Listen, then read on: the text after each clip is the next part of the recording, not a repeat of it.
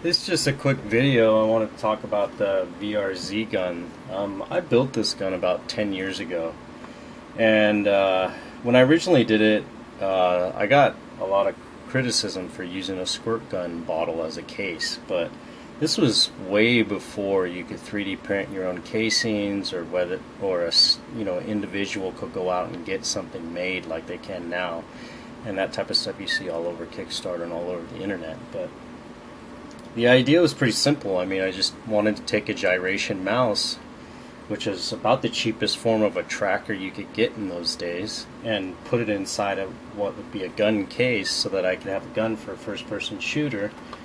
And here, I have it hooked up to Battlefield 4, and I can shoot, move around, just uh, like I originally intended. Um, and 10 years ago, I mean, I was playing Quake and, and Doom with, with this setup. So.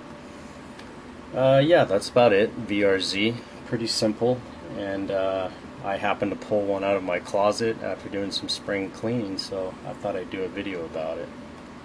Thanks.